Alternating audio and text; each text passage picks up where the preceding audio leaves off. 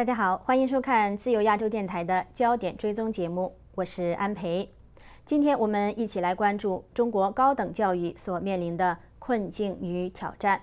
众所周知，中国的大学过去十多年高速发展，高校毕业生人数大大增加，但是许多大学生毕业之后却很难找到工作。据中国人力资源和社会保障部的数据，今年中国大陆普通高校毕业生将达到六百九十九万人，比去年增加了十九万人。但是，目前应届大学毕业生的签约率与去年同期相比却呈现下降趋势。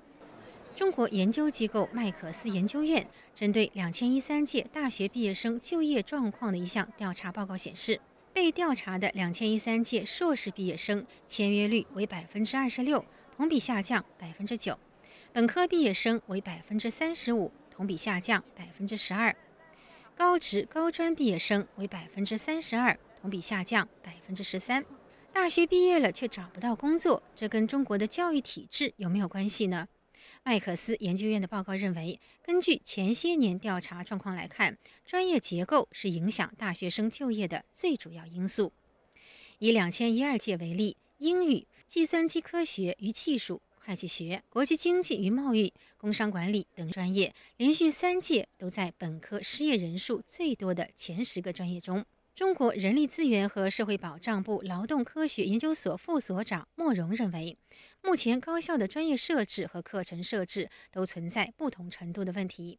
例如，现在全国高校到处开设会计、法律专业，但是。会计所、律师事务所根本不需要那么多毕业生。纽约城市大学政治系教授夏明表示，中国高校近年来推行的扩招政策，能够使更多的中国学生获得进大专院校深造的机会。这个做法本身应该具有积极意义。问题是，中国各大院校为了追求利益最大化，专门扩招专业大多集中在投资较少、不需要太多精密设备、仪器和场地的文科类科目。看起来，教育大跃进式的发展仍然有诸多值得注意到的弊端。财讯网刊登的一篇文章指出，高校扩招的速度确实快了，但是教学的理念、制度、师资、设施等各方面准备都不足，而每年扩招数量远远超出国民经济发展速度。相反，中国在全球产业链的分工位置以及中国的产业格局，无法容纳如此大量的大学生。如今又遇到经济放缓的压力，社会就业岗位因而减少。显而易见，教育体制与经济体制的深层问题相互勾连。何庆莲女士表示，经济保持了三十多年的高速增长，都是百分之八到百分之十三左右啊。但是呢，就业率呢一直呢是在百分之一点几徘徊。当时呢是在理解呢，是一是认为中国宏观经济数据到了甲，二呢是中国的投资方向不对。旅美中国社会和经济问题学者程晓农认为，中国经济体中的众多严重问题，目前已导致中国经济无法再高速发展。从而影响就业形势，工资成本越来越高，企业没有未来发展的希望，不愿意招人。美国印第安纳州博尔大学经济学教授郑竹元表示：“中国经济啊要走下坡了，经济不佳，人家就不要用人了嘛。那恐怕这个教育制度啊要改，读大学的人呢越来越多，一胎化之后，现在每个人都要去读大学，但是大学出来呢？”并不是每个人都有能有一技之长，大家都想去做官、公务员，不要动手的、动脑的。那么，高校培养出来的新一代人才，能否成为开创经济领域创新的生力军呢？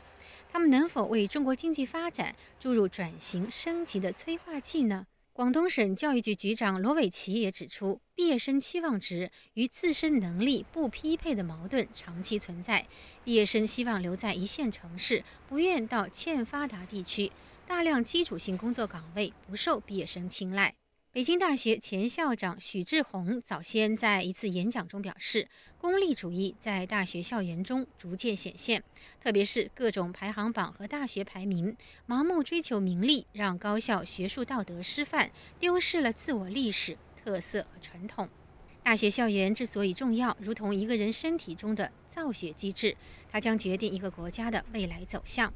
美国乔治梅森大学助理教授张天亮则认为，中国各种大学排名都是官方机构进行的，大学在意这些排名，是因为其和政府拨款密切相关。九十年代初期的时候，中共他们当时搞了一个叫“二幺幺工程”，就是全国要找两百多所高校。那你一旦呃能够跻身到这个行列里边的话呢，你这个学校能够得到的拨款就会多。所以说，它这种排行榜的话，它是等于跟国家的这种教育经费。的划拨联系起来了。中国网络作者刘先生曾长期在大学工作，他认为中国大学的问题在于迷失了方向，也就是说，大学已经变成了政府官僚体制的一部分，僵化的体制窒息了学术自由。中国的大学啊，实际上就是它这个官僚体系当中的一部分，它在这个意识形态下面，再加上这个单一的这种价值观，这些因素啊，都对这种大学啊有相当大的制约力。如果大学不摆脱这些的话，那么想要办好中国的大学啊，其实是一种不太可能的事儿。刘先生表示，中国社会价值观的一元化以及全社会的功利倾向和短视，才是造成中国大学和大学生功利主义和道德失范的原因。中国人常说“十年树木，百年树人”，中华民族是一个重视教育的民族，但是目前中国教育体制所面临的是。转型的挑战，而大学校园文化也面临着价值观的危机。正如上述评论人士所说的，中国高等教育的问题与中国经济体制问题乃至政治体制的深层次问题都是相互勾连、互为因果的。在突破发展瓶颈、走向新境界的道路上，不会有一个简单的答案与药方。我们需要所有公民的参与以及各种意见的自由表达。